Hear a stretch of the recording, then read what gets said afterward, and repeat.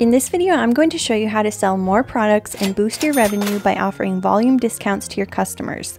You can get this set up in about 10 minutes. We're using a free app and there is no coding required. Anyone can do this. Let's get started. Before we get into the video, if you like videos about winning products, dropshipping, Shopify themes, apps, and tutorials, do us a favor and hit that subscribe button and turn notifications on. Now, let's get into the video. If you sell any type of product with different color variations or styles or types, or even products where they may want one for themselves and one for a friend, you should definitely set up volume discounts for your store and start taking advantage of the extra sales you could be having. The way it works is when a customer visits your product page, you'll have an offer displayed. It could be a percentage off or a dollar amount. When the customer meets the criteria for the volume discount, their discount is automatically applied at the checkout. Now, let's set it up. From your Shopify dashboard, install the app Bundler Product Bundles.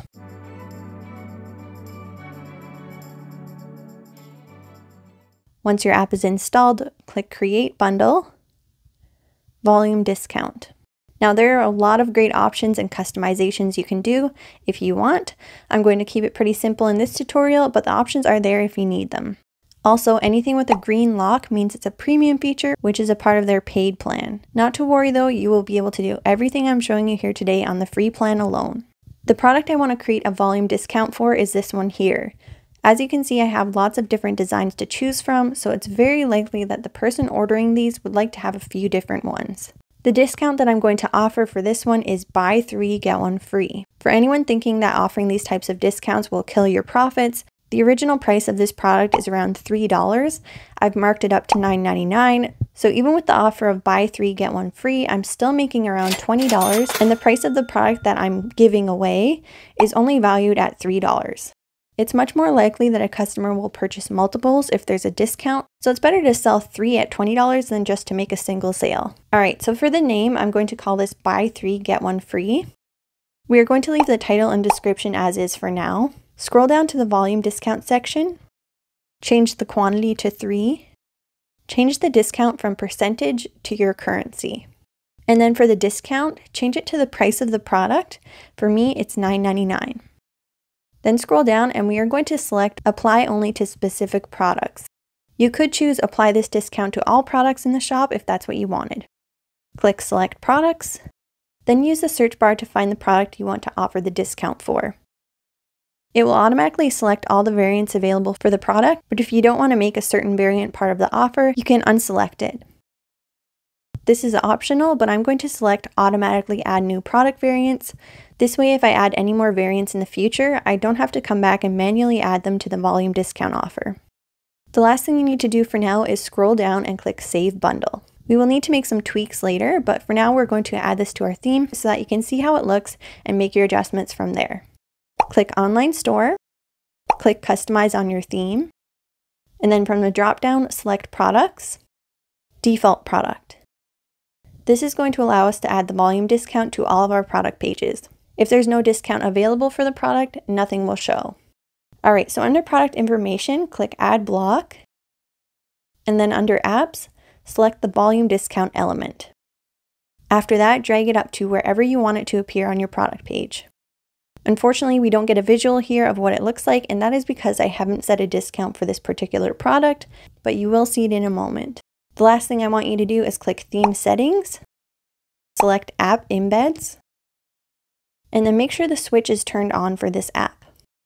All right, save your work and then let's take a look at our product. So here's what it looks like by default. You are likely going to want to make changes to your text, so that is what we're going to do next. How you edit this is completely up to you, but here are the main areas you want to look at.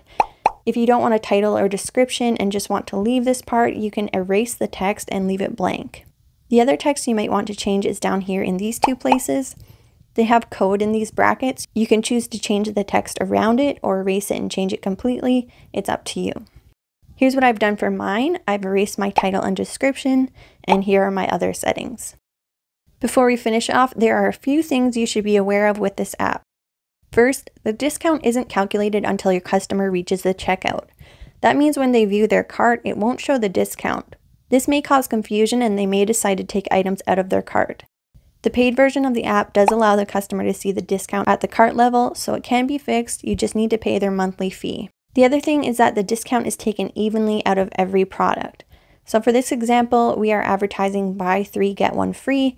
You would expect to see a $9.99 discount, but instead that discount is broken down and applied evenly to each product in the cart. There's also an important note when you are creating percentage discounts, so let's cover that really quickly. If you were doing a buy one, get one 50% off, you wouldn't put the discount percentage as 50 because the app applies that 50% off to both products, which means they would get a free product. Instead, what you want to do is enter 25, then when the app applies it to both products, your total is now 50%. So whatever you desire your total discount to be, you will have to divide it by the number of products and then enter that amount, not the total desired amount. Does that make sense? If not, just let me know in the comments what you're trying to achieve and I will do my best to help. If you like this video, do me a favor and give it a thumbs up or leave me a comment down below. And if you haven't already, make sure to subscribe. We post a lot of time sensitive content such as winning products on this channel, so make sure you have notifications turned on so that you can be one of the first to market when we post those videos.